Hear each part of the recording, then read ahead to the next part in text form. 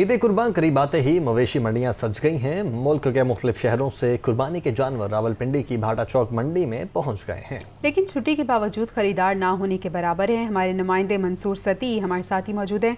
मंसूर, बताइएगा, क्या वजह है खरीदारों की अदम दिलचस्पी की?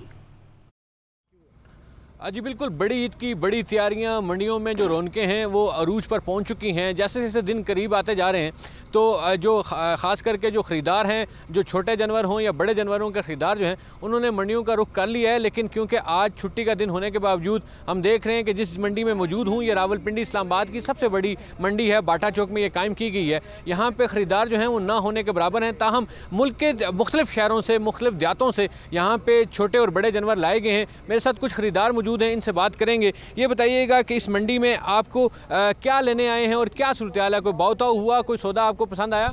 हम कुर्बानी का जानवर लेने आए थे तो बहुत रेट बहुत ज़्यादा है ही है। पिछली बार जो जानवर हमें लाख एक रुपये में मिला था, वो अब इस बार दो लाख में भी नहीं मिल रहा, महँगाई होने की वजह से।